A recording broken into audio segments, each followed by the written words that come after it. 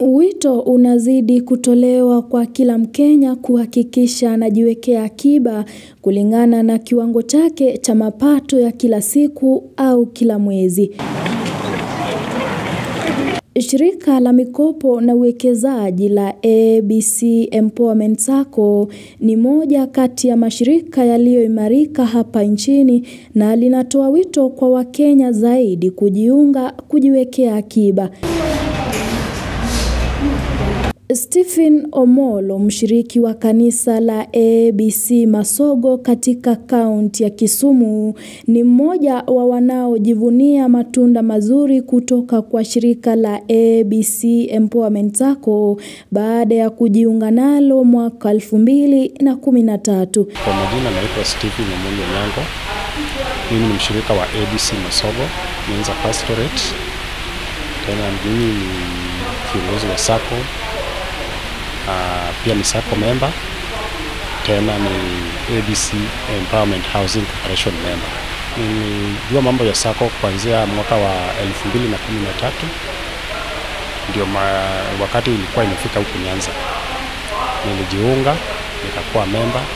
Stephen ambaye pia ni mratibu wa shirika hilo maeneo hayo alisema majukumu yake ni kuwaleta pamoja wanachama na kuwaelimisha kuhusu shirika hilo ili kulifahamu zaidi. Hata hivyo, alieleza jinsi amefaidika na shirika la ABC Empowerment Sacco pamoja na familia yake kupitia mikopo inayotozwa kwa riba ya chini.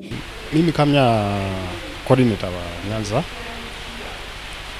kazi yangu ni kuelimisha watu kuhusu sako, na tena mimi pia ni kuna mambo mengi sana nimesoma katika hii sako yetu ya ABC.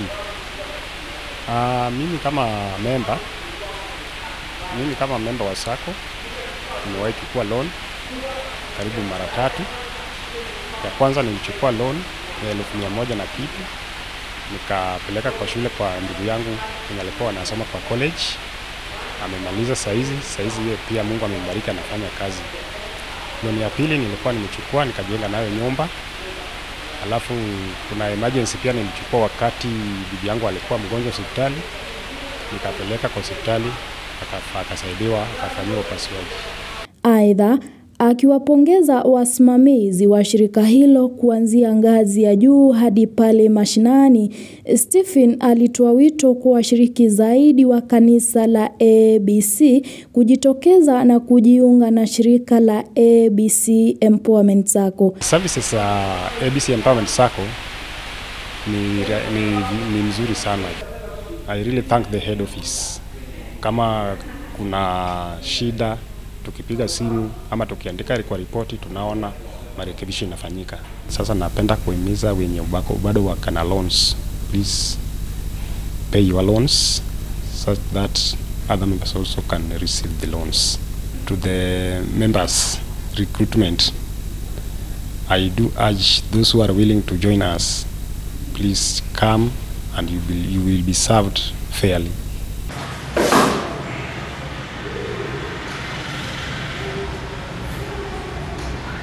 Caro Christopher, makala ya Undugu na Biashara.